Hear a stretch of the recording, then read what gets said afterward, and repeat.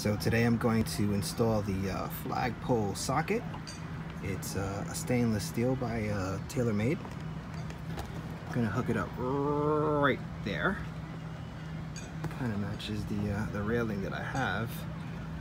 And then I'm going to install the, uh, the flagpole itself, um, which I'm really excited about.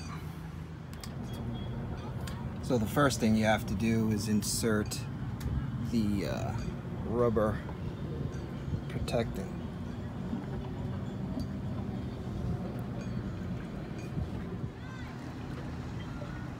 There goes the bracket installed. Nice and tight.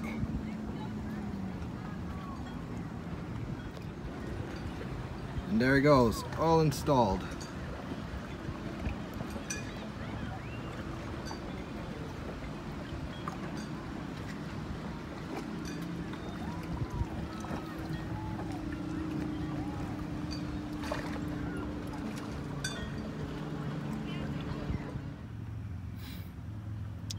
Here's the flag all installed.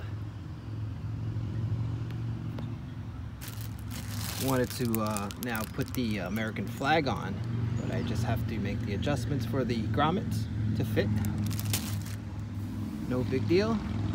Easy fix. Get the American flag up. I hope you guys like this video and uh, hope to see some more flagpoles installed. Have a great day.